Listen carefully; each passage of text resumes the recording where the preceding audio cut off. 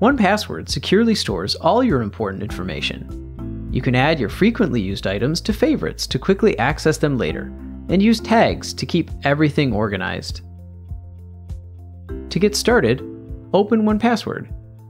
To mark an item as a favorite, drag it to Favorites in the sidebar. Or select it and click the star. Now you can always find your favorite items in one place. If you have a lot of items, you can use tags to group related ones together.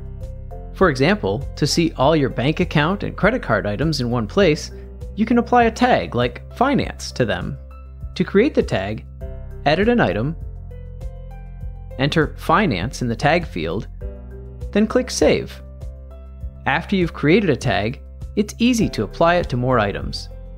Just drag the items to the tag in the sidebar. Now, whenever you want to see all your finance items, just click Finance in the sidebar.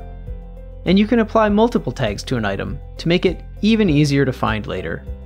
I have a credit card that I use when I travel, so I'll apply both the finance and travel tags to it. Just separate them with a comma. And that's all there is to it. Now try it on your own and discover all the ways you can use 1Password to get organized. For more helpful videos like this, visit support.1password.com or subscribe to the 1Password channel on YouTube.